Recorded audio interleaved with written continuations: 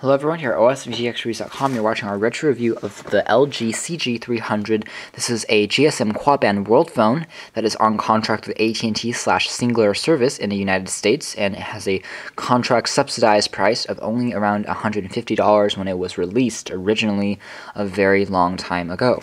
Now the interesting thing about this product is that it's a flip phone and at the time it combined a lot of newer functionalities including a speakerphone that had a large speaker um, and as a result in playing back music and you know seeing your uh, phone ring and your, your ringtones was, was going to be played back in a very loud manner and also had a built-in camera which was only VGA quality but has a flash and a self-portrait mirror so that's um, all nice features. In addition it combined a pretty functional and rather large LCD display with a nice tactile uh, navigational pad. Let's take a look at some of the closer uh, options on this phone. On this phone, in front here we have the aforementioned uh, speaker for uh, you know listening to music and such. Down below here we have a large LED monochrome display for displaying for showing you missed calls and contact information, volume information, and other functionalities. On the left side of the device, we have access to a 2.5 millimeter headphone jack, which is non-standard, unfortunately, but it means that you can plug in a pair of earphones and then talk to people that way instead of using the uh, built-in earpiece. We also have access to a push-to-talk key, which is actually a very special feature considering a push-to-talk functionality is usually only found in Sprint Nextel phones and not in AT&T phones. But this AT&T phone in particular has push-to-talk walkie-talkie functionality. Uh, what that means is that I have two of these uh, Motorola CG300 phones, uh, or LG sorry, CG300 phones, I could push on this and talk to my friend for free, basically, within that uh, distance, just like, I'm, just like I'm using a walkie-talkie, which is, again, a very special feature. Down wheel here we have access to a uh, volume up and down buttons and these keys are pretty easy to press.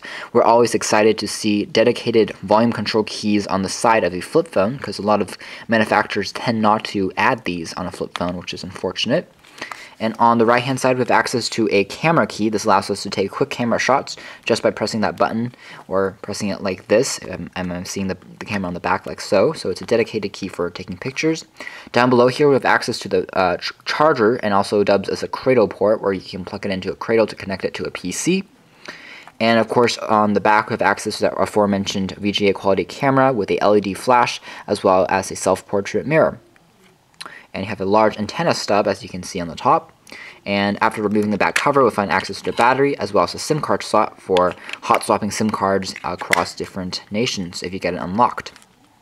Now flipping over the phone, we have access to a quite large, again, LCD display. It's pretty bright and vibrant. We also have a earpiece for calling people and hearing them.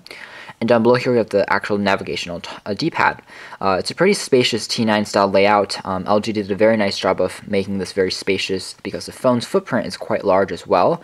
Even though it's made out of plastic, um, the LG, CG300 is one of the most solid feeling phones thanks to its use of, uh, again, uh, more glossy materials, piano black finishes, and overall it just feels really nice in the hand. It feels pretty durable for some reason. Again, taking a closer look here, we have a large and spacious uh, dial pad area. It's going to bring us all our traditional buttons, and they are risen above the surface, so you can call people very easily, even in darker environments, because it is tactile and easy to feel your way around. And on the top, we have access to a five-way navigation D-pad that also dubs as your mail key, as your um, file manager key, is your uh, phone book key, and other functionality. We also have access to a dedicated camera application button, which will bring up the camera, which is one of the main features of this phone. You also have access to that phone book again. We have access to two hotkeys, talk and end keys, and clear and back buttons. This is just a retro look back at uh, one of the more popular flip phones for AT&T and Cingular back in the day, uh, for LG especially. It has a very nice industrial design, has quite a, a few functions that we really came to love, um, and just worked really well. It had a great battery life and great call quality as you might expect from such a basic handset. So thanks for watching our retro review of the LG CG300 for Sprint uh, for AT&T Cingular service. Thanks for watching.